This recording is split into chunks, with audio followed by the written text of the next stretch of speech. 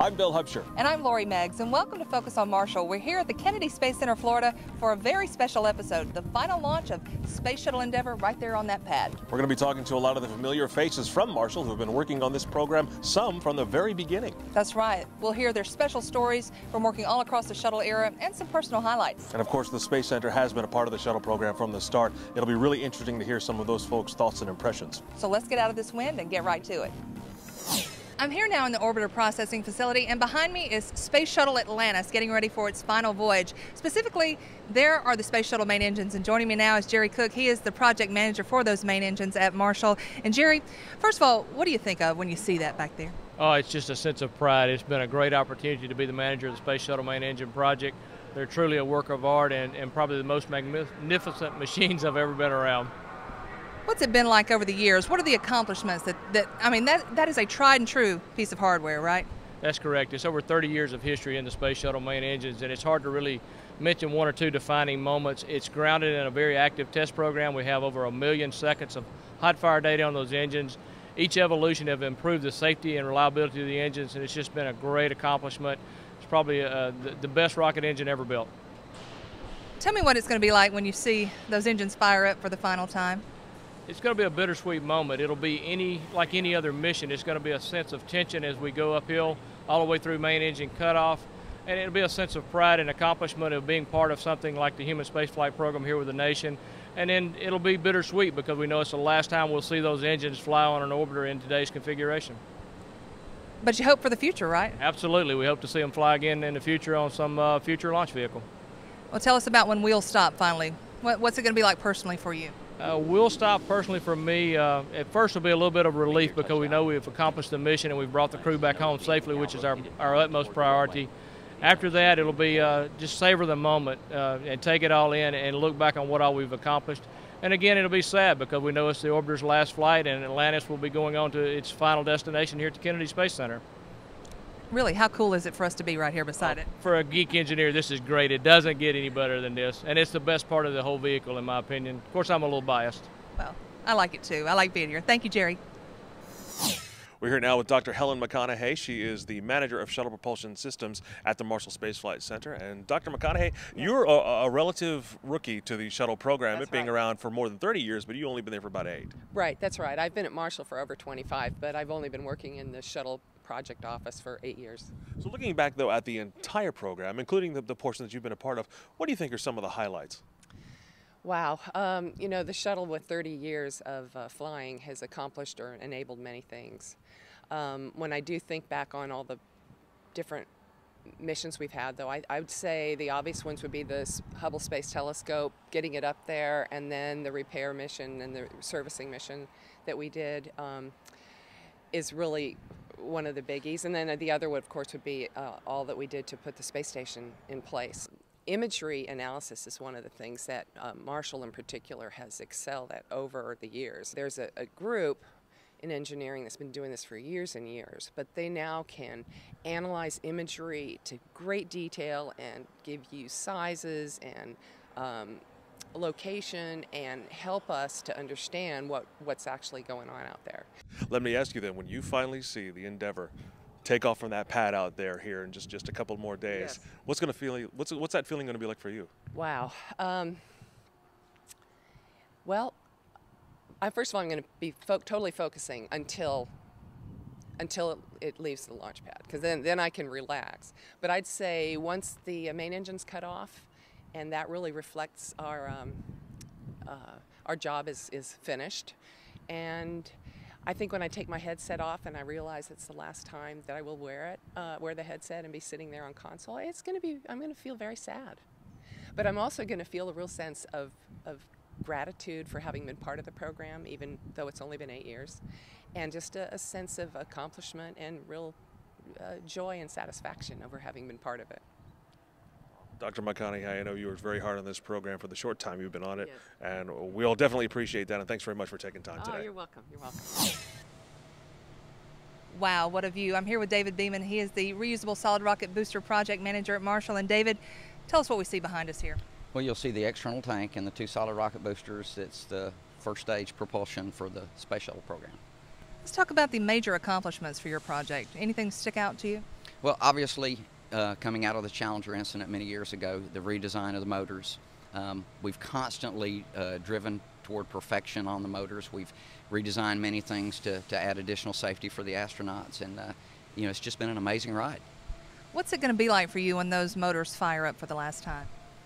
I guess uh, when they first fire, I'll be excited like always, you know, watching the first stage. And I guess after they separate and we know that the orbiter is safely into orbit, uh, it's going to be emotional. You know, uh, coming to the end of a program with all the accomplishments, knowing that's going to be the last one, uh, it, it's going to be uh, it's going to be somewhat emotional. What do you credit the success to? The people. There's no question that the people are the reason we're successful. Not only the ones today, but the the amazing design engineers and program managers that started this program, uh, the guidance they provided us, the hardware they provided us to maintain.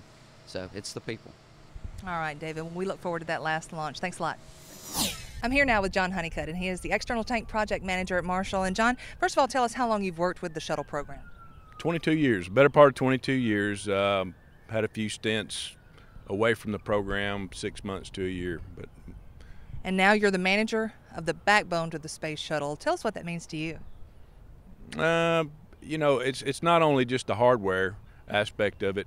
Uh, the thing that, that, that, has enabled us to get that backbone uh, to where it is today is the people. And when I talk about the people, I'm talking about folks at Marshall Space Flight Center, civil servants, as well as our support contractors, and our prime contractor at MSU and Lockheed Martin. We got a great group of people, and uh, the organization that we have has enabled us to do what we've done.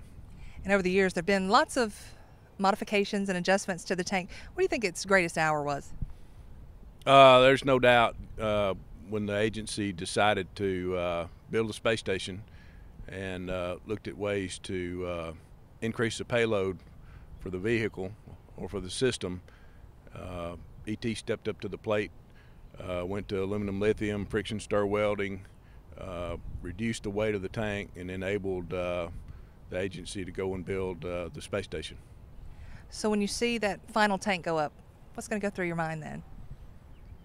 Um, I'll be extremely proud uh, of all the work that we've done. It's uh, it'll be a culmination of redesigns that occurred throughout the years I alluded to the one on uh, the super lightweight tank, but uh, there's been several several redesigns, uh, more than a couple of dozen, uh, after Columbia, and you know our goal was to make the last tank the best tank, and we've done that. It is the best tank. All right, tell me what what's going to go through your mind when when we see wheel stop on that final shuttle, though. Um, I'll be extremely pr- proud of uh, what the team's accomplished. Um, the thing that jumps into my mind though is um, the the work that was done generation before us um, by the folks that got shuttle off the ground, got it going where it is today. Now it's our job, since shuttle's going to be retired, to uh, pick up with the new space launch system and do what those guys did for shuttle. We need we need to we need to get that space launch system in, to a point to where we're looking back on it 30 years from now and saying what a great program it's been. The legacy continues. Thanks so much, John. We're here with Jody Singer. She's the deputy manager of the shuttle propulsion elements. And Jody, you've been with the program now in some way or another for more than 20 years. What are some of the highlights that you've seen uh, on the shuttle program? Well, there's a lot of highlights. When I think about our ability to support the International Space Station, I think about the changes that we've gone through as far as being able to launch super lightweight tanks and the main engines and the solid rocket boosters. There's just a lot of technology that we brought into the space program and uh, it's just wonderful to see it come to fruition and uh, see it launch. So, what about some of the, the personal and professional highlights you've experienced while you were on shuttle? Well, definitely in shuttle, it's the people. It's the commitment to the success of the shuttle, the day in, day out uh, contributions that our folks have made, their families, uh, across the entire Marshall Space Flight Center, from the engineering directorate to safety and mission assurance, the project offices, all the elements, and our prime contractors. They all make the shuttle successful. It's their commitment, their teamwork, and day in, day out, the sacrifices they've made. All right, so Jody, we're, we're not too far away from watching Endeavour make its final trip into the into orbit. How are you going to feel when you when you feel that rumble and, and see that plume of smoke as it as it launches for the final time? I'm sure I'll have some tears, um, but there'll be a lot of personal satisfaction knowing that you know a lot of us played a big part in making it successful. But I will be sad. Um, it's, it's been part of my life. Um, it's a commitment and a sense of pride. And uh, it's just amazing when you think about all the effort and the teamwork that went into making the shuttle successful. But I will be sad. I'm sure I'll shed some tears. But then there'll be a lot of pride too that we've done a job well. Well, Jody, I think a lot of us are going to be right there with you. Thanks very much. Thank you. I'm here with Steve Cash, the manager of the Shuttle Propulsion Office at the Marshall Center. And Steve, as you turn around and you look at Endeavour on that pad, tell me what goes through your mind. Uh, a lot of pride. Uh, it took a lot to get to this uh, this point. Uh, this is Endeavour's last uh, flight, last mission. Uh, I think all the accomplishments that that have that have come and the technologies that had to be developed, and the teamwork that that was required to to get to the pad. just lots of pride in this team. For folks who may not know, tell us about the shuttle propulsion systems. That thing wouldn't get off the ground without that, right? They put about seven million pounds uh, together combined between the uh, solid rocket motors and the engines uh, to get off this uh, to get off this planet. In your mind, what is the shuttle's greatest achievement, greatest success? Well, you know, when I sit back and think about all the successes that have come from the shuttle, and there's a lot of them, you got to really concentrate on the station. Uh, it took uh, multiple missions. it took a lot of new technologies that that are now applicable here on Earth. but assembling that station has got to be the that crowning jewel of the shuttle program. What about when wheels stop for the final time, the final shuttle? What's what's going to get through your mind then? It's going to be a little sad.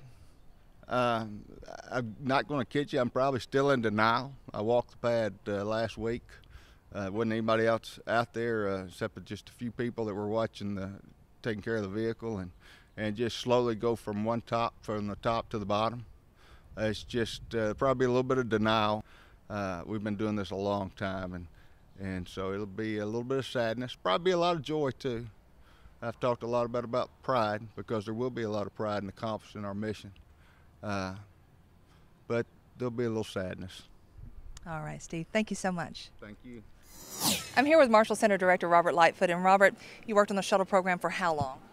Well, on and off uh, since since I started in '86. And talking about all the work over the years, I don't know if you can narrow it down, but maybe one or two highlights, accomplishments, personal highlights for you during this program. Oh man, I, I think the that's that's a tough one, but I, I, really believe in 10 or 15 years when people look back on the shuttle program, the enabling and the building of the International Space Station is going to be one of the one of the the big memories about what shuttle has done for us clearly the Hubble will be there. I mean, Hubble is always going to be there. Chandra, that we did at Huntsville, is going to be there. The big observatories, I guess, in general. But I think the the big highlight for me is is watching the team, right? I mean, we this shuttle team is is is so diverse, and it's just it's from all over this country that make that make that shuttle fly and fly safely. And, and watching that team work is pretty amazing. What's it going to be like for you when, well, first of all, when it lights up for the last time, when those boosters light up and the engines light up and it takes off, and then and then when wheels finally stop for the last one. Yeah, I think uh, you know when the boosters and the engines light up, I, I, I don't think it'll be any different. I really don't, uh, because that's kind of when you're, you're you're so focused on making uh, on watching and making sure everything's going the way it's supposed to go.